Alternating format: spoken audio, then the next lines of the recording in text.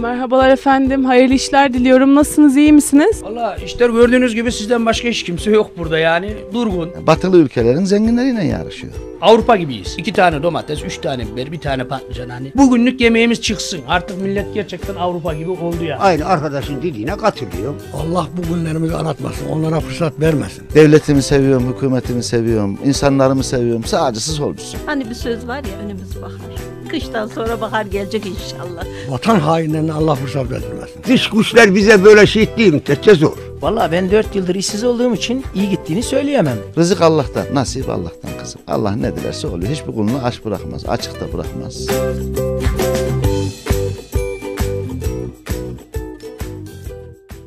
Değerli Anadolu TV izleyenleri, şu anda Tayfa Fast Food ve ev yemeklerinde Berin ablamızla birlikteyiz. Merhabalar Berin ablacığım, nasılsın? Razı olsun. Çok iyiyim elhamdülillah. Uğraşıyorum, buradayım, dükkandayım. Kendi kendime mübarek Ramazan günde işte ne bileyim ben elimizden geldiği kadar uğraşıyor. Sizler de iyisiniz inşallah. Bizler deyiz, çok teşekkür ediyorum. İnşallah.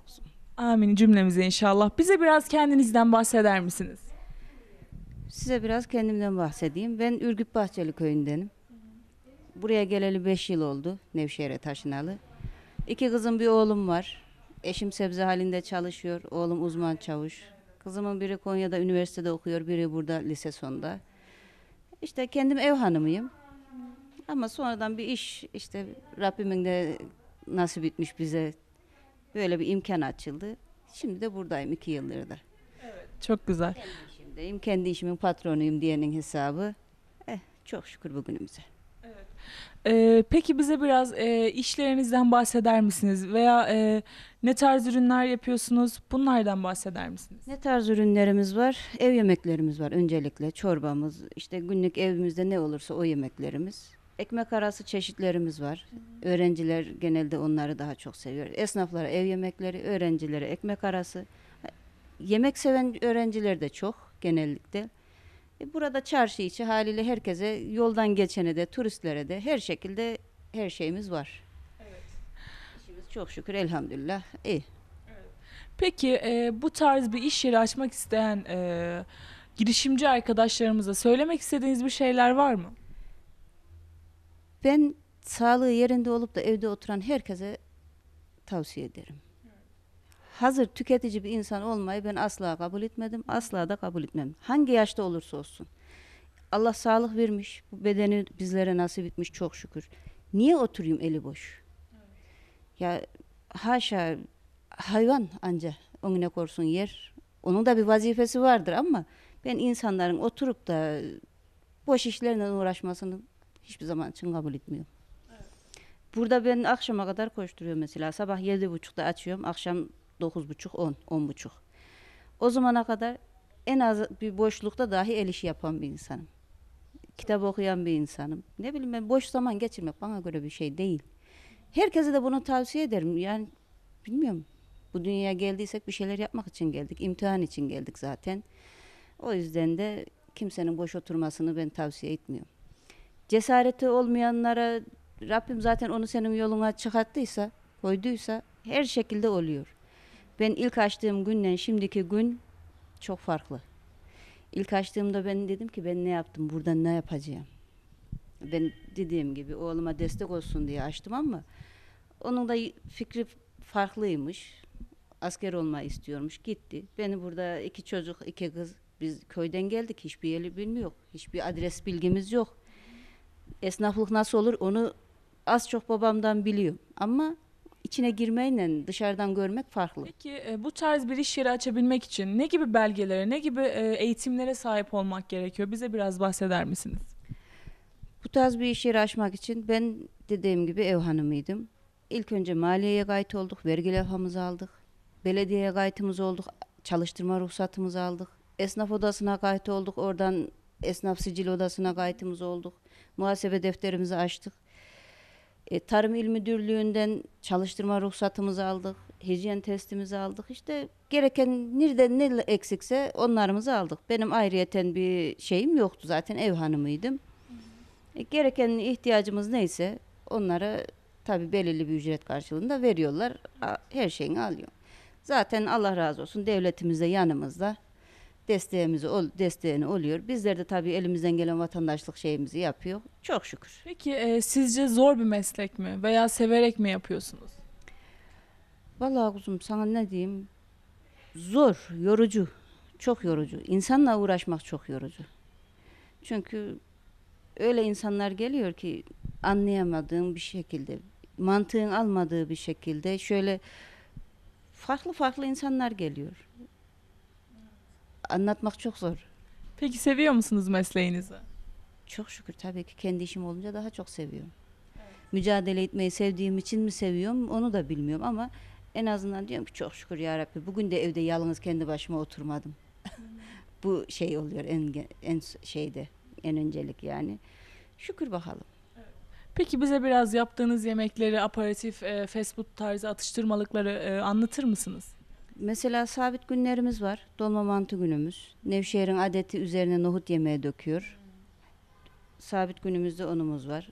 Mantımızı da kendimiz dolduruyor burada boş zamanlarımızda. E, sipariş mantı dolma e, dolma mantı veriyorlar sipariş olarak onu da yapıyoruz. Yaprak sarması is- istiyorlar. Çünkü ev yemeği olduğu için onu da yapıyoruz.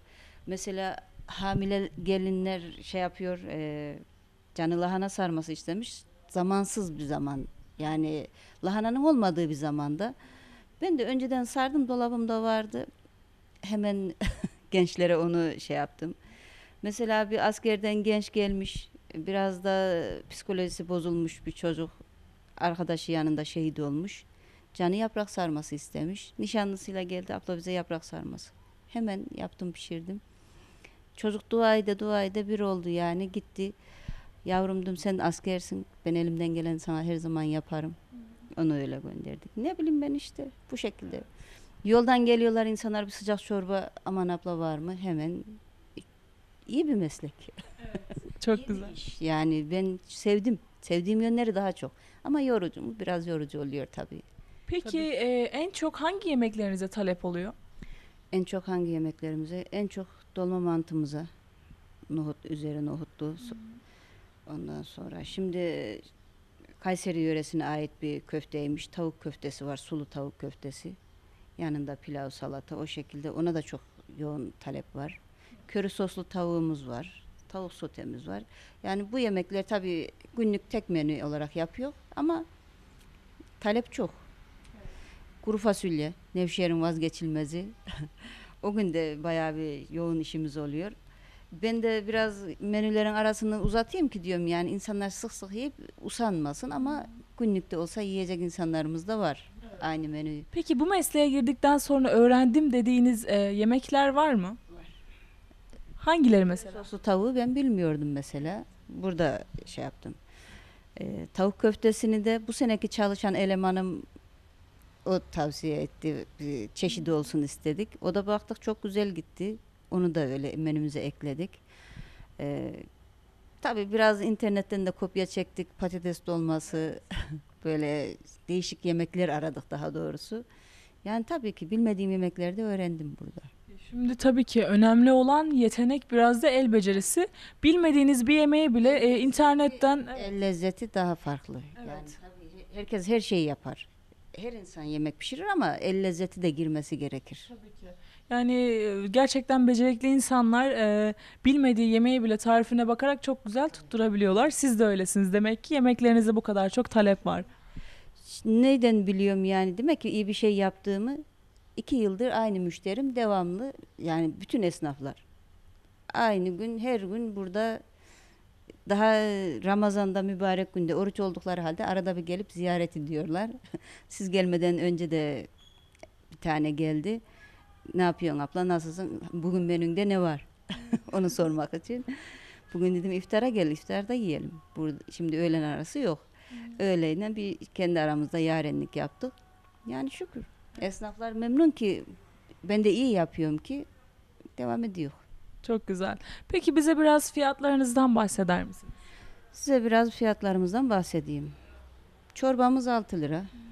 Ana yemeğimiz yanında pilavımız, salatamız 9 lira. Çorba yemek işte 15 lira buluyor. Eğer bir de tatlı isterse üstüne 20 lira. Bu sabit bir menü yani. Bilmiyorum ben bir günlük yiyip gidecek insanlara karşı değil fiyatım. Her gün yiyecek insana karşı olsun. Çünkü bir gün 100 lira da olsa verir. Ama her gün yiyen insana, esnafa ağır gelir. O yüzden de ben az kazanayım. Devamlı olsun. Devamlı olandan daha çok bereket olur. Önemli olan müşteri memnuniyeti diyorsunuz. Çünkü dediğim gibi bir gün yer gider. Aman ben bir daha oradan gelmem, yememdir gider. Ama fiyat uygun olur, yemek lezzetli olur. Bu fiyata bu yemek başka nerede bulacağımdır her gün gelir. Ben bu niyette yapıyorum yani bu fikirle yapıyorum. Bilmiyorum ne kadar doğru yapıyorum ama doğru yapıyorum. Doğru olduğunu müşterimin tekrar geldiğinden biliyorum. Gördüğüm kadarıyla e, masa sandalye olan kısımdan e, farklı olarak şark köşeniz de bulunuyor burada. Peki müşterilerinizin tepkisi nasıl oluyor bu şark köşesiyle alakalı? Valla burayı daha çok tercih ediyorlar. Çünkü buranın oturması rahat. Bir de öğrenciler olsun, dışarıdan gelen turistler olsun bu yer sofrasında oturup da yemek yemeyi daha çok tercih ediyor. Evet, aynı zamanda Anadolu kültürünü de yansıtmış oluyor. Benden Ben önce hazır- iki tane genç çocuk, iki kardeş çalıştırıyormuş. Biz hazır bulduk burayı. Biraz tabii kendi şeylerimizi de ekledik ama yine de fikir onların. Ama öğrencilerin de, turistlerin de kendimiz için de bura dinlenme yeri olarak çok güzel bir şey oldu. Şükür. Bize bize de çok rahat oluyor tabii ki oturmamız, dinlenmemiz boş zamanlarımızda. Misafirlerimi de ben burada ağırlıyorum. Evim gibi. Yani ev ortamı. Ev ortamından uzak bir şeyimiz yok. Evimizde yakın olduğu için yatmadan yatmaya otel gibi eve gidiyor sadece. Teşekkür ediyorum. Peki başka söylemek istediğiniz bir şeyler var mıydı? Vallahi başka ne diyeyim? Gençlerimizin biraz daha boş işlerinden değil de hayırlı işlerinden uğraşmasını çok isterim. Gelen öğrencilerden ben gördüğüm kadarıyla çok boş işlerinden uğraşan gençler var. Ortama bakıyorum inan ki gençlerden benim pek umudum kalmamış.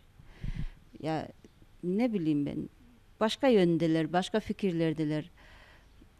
Bazen e, söylemek istiyorum gençlere söylüyorum yani çengem pek durmuyor. Biraz çok konuşuyorum gençlerden sohbet ediyorum. Sizlere diyorum bu imkan verilmiş okuyun. İlk önce okuyun. Ama boş işlerle uğraşıyorlar. Fazla da karışamıyorum. Çünkü sonuçta müşteri oluyor.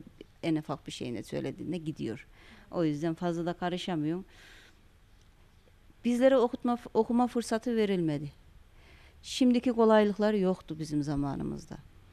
Anne baba nasıl gönderecek, nasıl getirecek? Gelip gitme imkanı yok. Ee, okulda destek, okuldan devletten destek yok bizim zamanımızda öyleydi. Okumayı çok mu istedim? Çok istedim. Ama o imkan verilmedi. Gençlerden tek ricam anne baba sizin için kendini heba ediyor, heba ediyorsa siz de okuyun. Bir meslek sahibi olun. Ondan sonra her şey olur. Tek diyebileceğim bu. Rabbim devletimizi de milletimize selamet versin. Ee, gerçekten e, anne yemekleri yemek istiyorsanız veya ev rahatlığında bir ortamda oturup yiyeceklerinizi, içeceklerinizi yiyip içmek istiyorsanız hepinizi Tayfa Fast Food ve ev yemeklerine bekleriz. Ee, bizi misafir ettiği için Berrin teyzemize çok teşekkür ediyorum. Hayırlı işler diliyorum. Merhabalar efendim, hayırlı işler diliyorum. Nasılsınız, iyi misiniz? Valla işler gördüğünüz gibi sizden başka hiç kimse yok burada yani. Durgun. Batılı ülkelerin zenginleriyle yarışıyor. Avrupa gibiyiz. İki tane domates, üç tane biber, bir tane patlıcan hani. Bugünlük yemeğimiz çıksın. Artık millet gerçekten Avrupa gibi oldu ya. Aynı arkadaşın dediğine katılıyor. Allah bu günlerimizi aratmasın. Onlara fırsat vermesin. Devletimi seviyorum, hükümetimi seviyorum, insanlarımı seviyorum. Sağcısız solcusu. Hani bir söz var ya önümüz bahar. Kıştan sonra bahar gelecek inşallah. Vatan hainlerine Allah fırsat verdirmesin. Dış güçler bize böyle şey değil müddetçe zor. Vallahi ben 4 yıldır işsiz olduğum için iyi gittiğini söyleyemem. Rızık Allah'tan, nasip Allah'tan kızım. Allah ne dilerse oluyor. Hiçbir kulunu aç bırakmaz, açıkta bırakmaz.